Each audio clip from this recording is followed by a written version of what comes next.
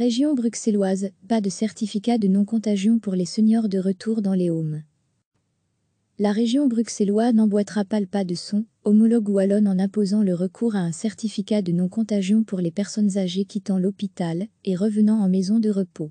Elle ne créera pas non plus de structure intermédiaire pour l'accueil de ces patients avant leur retour, ont indiqué jeudi le ministre bruxellois de la Santé et le ministre-président bruxellois Rudy Vervoer.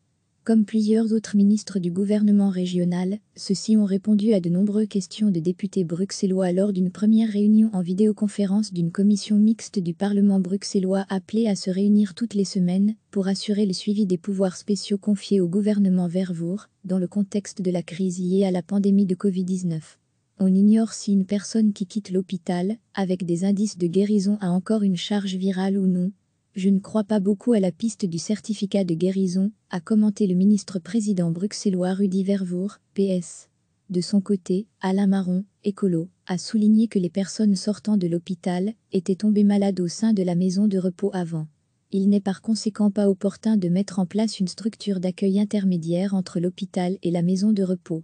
Plus largement, le ministre de la Santé a reconnu qu'il continuait de manquer, de manière flagrante, de matériel de protection et de testing, ce qui engendre légitimement, selon lui, un sentiment d'abandon du personnel des maisons de repos, mais aussi d'autres secteurs de la santé. En ce qui concerne le testing, le fédéral a annoncé, à l'occasion d'une conférence interministérielle de la santé, jeudi matin, une montée en puissance du nombre de tests dans les prochains jours. Iris Carr mène une réflexion sur la stratégie à mettre en place pour les organiser à Bruxelles et sur une autre, pour anticiper la période post-test, a poursuivi Alain Marron. La situation est imparfaite et compliquée. Personne n'a anticipé une crise d'une telle ampleur. Nous devons tout construire dans un contexte dans lequel des gens sont malades. Nous apprenons en marchant, a commenté le ministre, exprimant par ailleurs ses pensées pour le personnel soignant, mais aussi les gardiens de parc et les travailleurs de l'agence Bruxelles Propreté recevez chaque matin l'essentiel de l'actualité. La région bruxelloise n'emboîtera pas le pas de son homologue wallonne en imposant le recours à un certificat de non-contagion pour les personnes âgées quittant l'hôpital et revenant en maison de repos.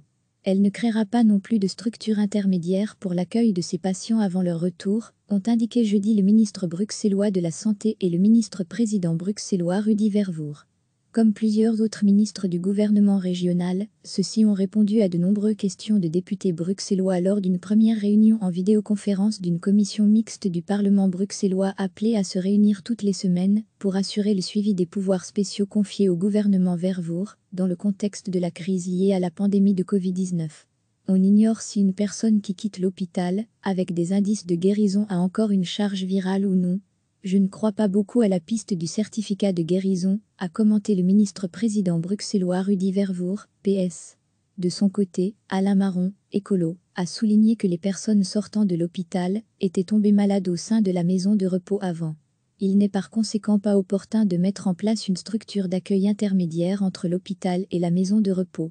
Plus largement, le ministre de la Santé a reconnu qu'il continuait de manquer, de manière flagrante, de matériel de protection et de testing, ce qui engendre légitimement, selon lui, un sentiment d'abandon du personnel des maisons de repos, mais aussi d'autres secteurs de la santé.